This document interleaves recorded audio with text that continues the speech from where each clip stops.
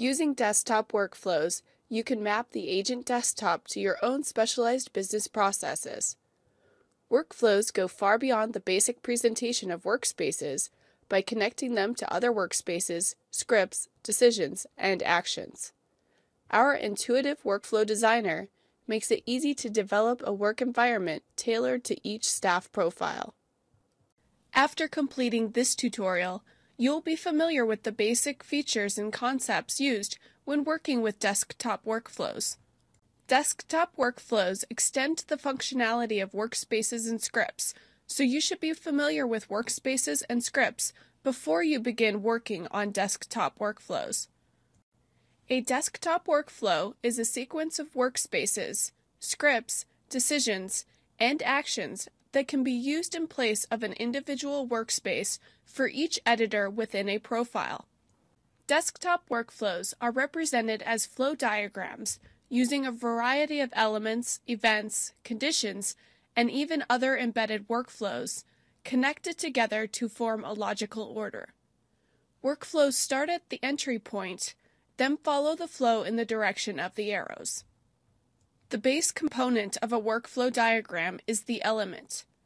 Elements vary by shape according to their functions.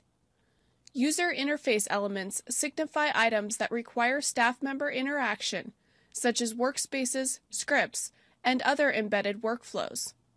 Automation elements trigger events that run in the background, such as setting field values and creating and saving records. Load change elements require staff members to perform a search, such as loading a record or associating a record with another record.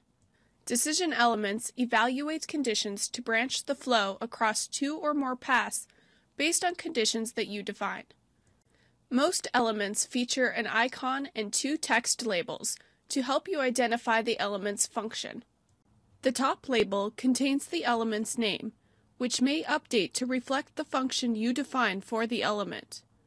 For instance, in the case of a workspace element, the element name may update to display the name of the workspace used.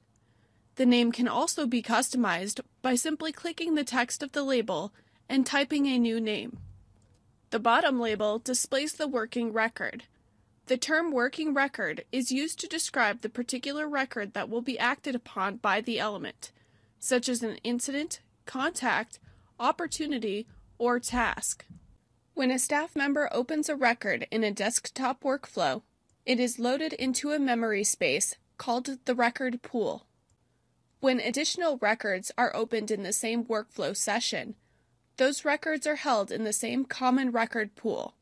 If more than one record of the same type is open in the same record pool, the working record is used to specify which record will be acted upon in an element, such as the initial incident, initial contact, last incident, and last contact.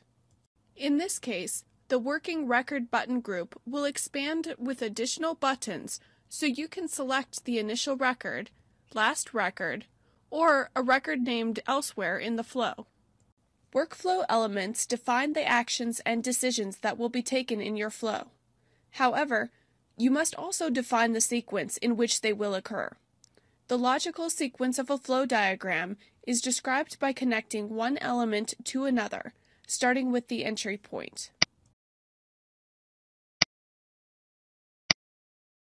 To connect elements to each other, simply hover over the first element, click an anchor, and drag a connection to an anchor on the second element.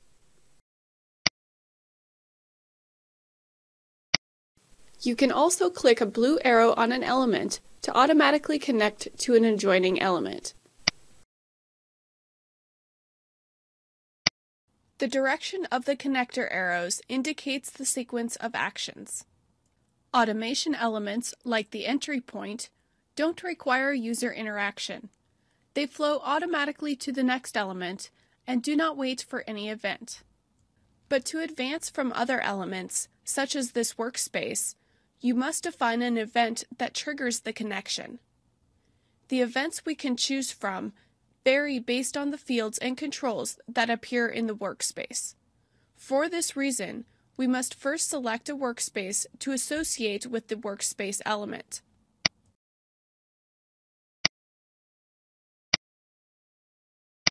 Next, we'll select the outgoing connector. On the Path Tools tab, click Add Events. Click Add next to the event you want to trigger the connection. Click OK. If you want the event to advance the flow only under certain conditions, you can add one or more conditions under which the event will follow the path. Click Add Conditions. Click Add next to the condition you want to place on the event. Click Field. Click the Field drop-down menu. Expand Incidents and select Status. Leave the operator value field set to the default and select Unresolved from the Value drop-down menu. Click OK. Click OK to save the condition.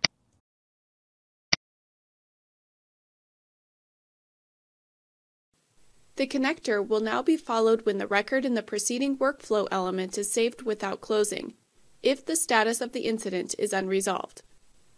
Decision elements can have two or more outgoing connectors, depending on the type of decision being evaluated.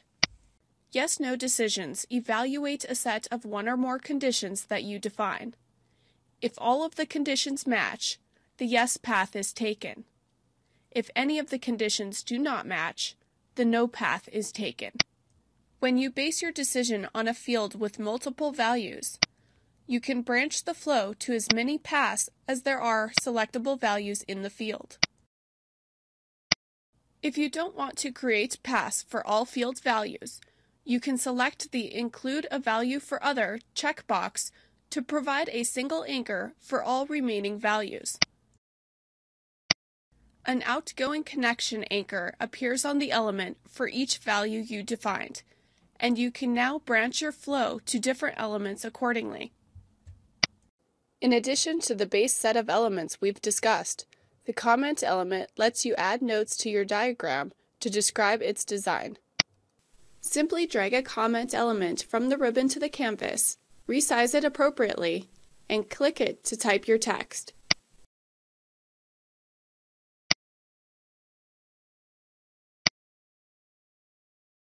If you want, you can draw a connector from a comment element to another element in your flow.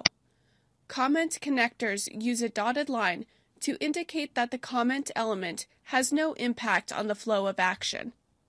Now that you are familiar with the basic components that comprise desktop workflows, you'll be able to analyze and understand a basic flow diagram.